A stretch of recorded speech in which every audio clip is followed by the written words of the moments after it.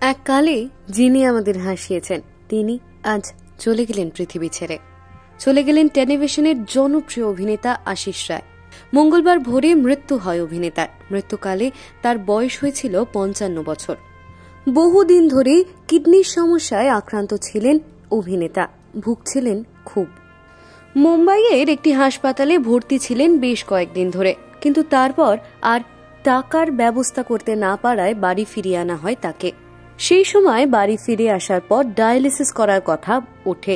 Dialysis শুরুও হয়, কিন্তু আর্থিক টানাপোড়েনের জন্য বাড়ির মাথায় হাত যে কীভাবে ডায়ালিসিস কন্টিনিউ করবেন তারা, এই অভিনেতার।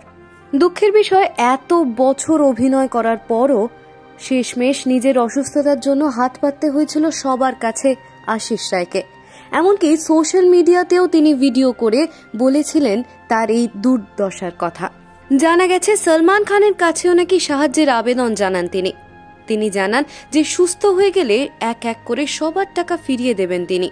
কিন্তু তার আর শেষ রক্ষা হলো না।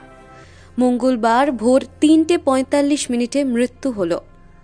সসুরাল সিমার কা খ্যাত এই অভিনেতার। আশিস রায়ের মৃত্যুর খবরে শোক প্রকাশ করেছে বহু মানুষ। কিন্তু সাহায্যের সময় কেউই হয়তো এগিয়ে আসেননি, যার ফলেই শেষমেশ এই পরিণতি। আমরা তার বিদেহী আত্মার শান্তি কামনা করি।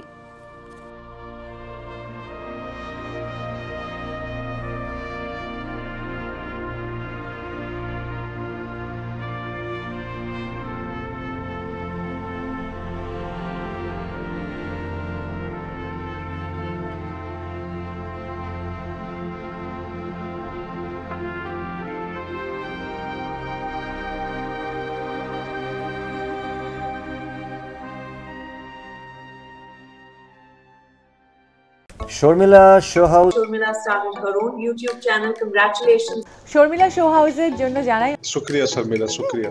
শর্মিলা সমস্ত দর্শকদের জানাই। Keep rocking all the best পহলি জব হাম মিলে খুব ভালো ভালো কন্টেন্ট নিয়ে ওরা আসে। You has to start from the beginning it's a pleasure being on your show Sharmila absolutely fantastic to appear on Sharmila show. Keep on watching Sharmila Show House.